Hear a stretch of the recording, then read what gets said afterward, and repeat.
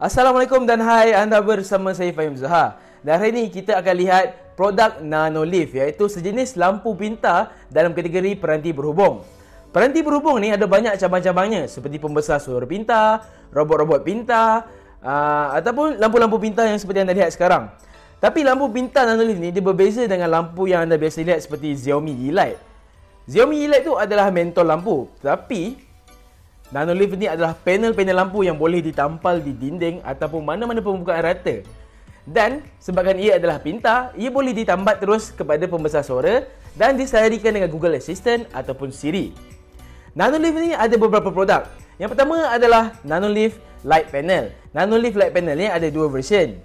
Satu adalah yang biasa dan kedua adalah Rhythm Edition. Rhythm Edition ni dia hadir dengan satu sensor yang boleh mendengar muzik yang anda mainkan dan kemudian Lampu-lampu ini akan berkelip mengikut rentak muzik yang anda mainkan seperti disco. Kedua adalah Nanolift Remote. Ia adalah satu dadu dodekagon iaitu 12 bucu yang apabila anda lontarkan secara rawak, contohnya anda lontarkan dan ia akan um, mendarat kat nombor 10 dan lampu tu akan bertukar mengikut tetapan yang anda tetapkan mengikut nombor tadi. Apabila anda beli Nanolift ini, anda akan dapat 9 panel lampu Nanolift Beberapa kepingan yang macam singkat ni ya, untuk sambungan modular. Jika anda beli Rhythm Edition, anda akan terima sensor untuk mendengar muzik yang seperti saya katakan tadi. Dan juga alat kawalan yang turut bersambung dengan wayar kuasa untuk Nanolift ini. Untuk Nanolift Remote pula, anda memerlukan dua bateri AA untuk menghidupkan alat kawalan berbentuk dadu dodecagon ini. Dan sekarang saya akan cuba tetapkan di atas meja ini dan kita lihat bagaimana ia bertindak apabila saya menggunakan arahan suara melalui Google Assistant ataupun menggunakan Google Home.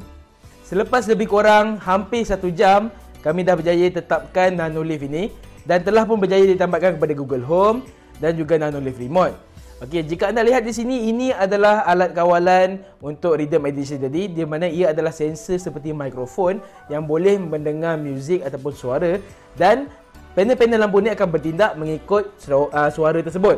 Ini adalah alat kawalan tadi. Terdapat dua butang, butang kuasa dan juga butang aras kecerahan. Dan alat kawalan ini akan disambungkan terus kepada kabel kuasa tadi.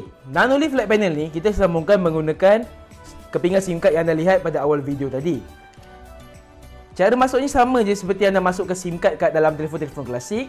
Kemudian dengan perlahan-lahan anda perlu sambungkannya kerana kepingan SIM card tadi agak nipis dan mudah patah jika anda terlampau lasak dan berikan masa beberapa saat untuk ia selarikan dengan keseluruhan panel. Lagi satu tips jika anda menggunakan Nanolift adalah susun dulu di atas satu bunga rata yang lain untuk bentuk apa yang anda inginkan. Kerana bila anda sudah gunakan pelekat untuk lekat pada dinding, ia dah tidak boleh ditanggalkan kerana pelekat tu hanya boleh guna sekali saja.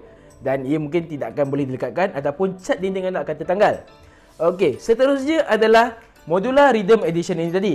Modular Rhythm Edition ni tidak dijual berasingan. Anda perlu membeli satu set Nanolift Light Panel Rhythm Edition untuk dapatkan alat modular ini. Ia adalah sensor mikrofon yang boleh mendengar suara dan lampu-lampu panel ini tadi akan bertindak mengikut suara yang dikesan oleh Rhythm Edition modular ini. Mari kita lihat contoh.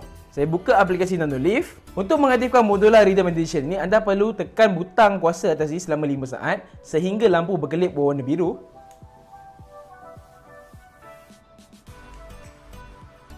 Selesai saja berkelip, ia akan bertindak mengikut suara. Ini adalah bagaimana jika ia bertindak mengikut suara yang saya cakap. Ini adalah bagaimana Nanolift Rhythm Edition berfungsi. Jika anda lihat, segala apa yang saya cakap ini, lampu panel ini bertindak mengikut arah suara saya. Hello, Assalamualaikum dan hai. Okey, mari kita lihat bagaimana pula ia bertindak mengikut muzik daripada Spotify.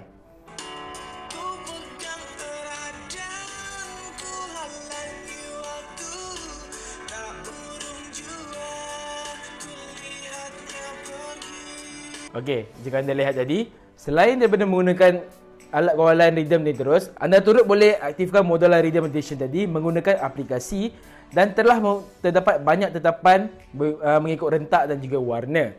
Seterusnya adalah Nanolift Remote ataupun dadu yang mempunyai 12 permukaan ni. Antara fungsi Nanolift Remote ini adalah ia turut boleh berfungsi sebagai pemutar untuk araskan kecerahan setiap panel lampu ini. Ini adalah contoh. Saya akan putarkan ke arah kiri untuk memalapkan lanolif ni.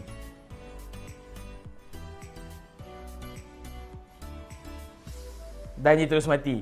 Kalau saya putar balik, ia akan cerah kembali.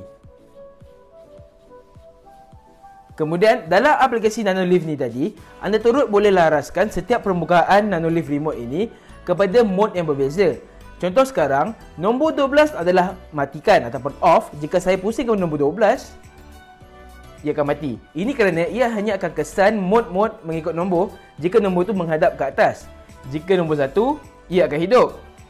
Untuk mode-mode lain contohnya adalah inner peace. Saya akan tukarkan nombor 5. Inner peace ni akan menggunakan lampu yang kononnya akan menenangkan diri anda. Lampunya hanya malap-malap dan akan bergerak mengikut animasi yang kejap terang dan kejap malap. Selain daripada NanoLeaf Remote, anda turut boleh menggunakan suara anda untuk mengawal NanoLeaf Light Panel ini. Jika anda adalah pengguna iPhone, anda boleh gunakan Siri ataupun HomePod.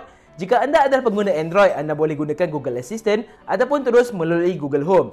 Ini adalah contoh. Hey Google, Turn off nano.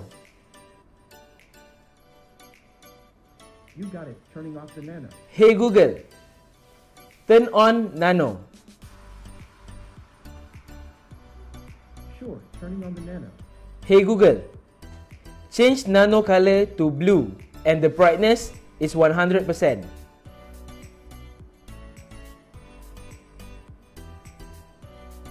can only help you with the first request. Itu adalah contoh mengawal menggunakan Google Assistant. Itu saja video produk-produk NanoLeaf iaitu panel lampu Rhythm Edition dan juga alat kawalan NanoLeaf Remote. Jika anda ingin dapatkan produk-produk NanoLeaf ini, NanoLeaf Light Panel Rhythm Edition sudah pun dijual di Lazada pada harga RM979. Manakala alat kawalan ini buat masa ini belum lagi dijual tetapi anda boleh dapatkannya pada harga RM299 dalam masa yang terhad ataupun RM330 bila ia sudah mula dijual di masa hadapan kelak. Itu sahaja daripada saya Fahim Zaha. Sehingga kita berjumpa lagi dalam video Amans akan datang. Assalamualaikum.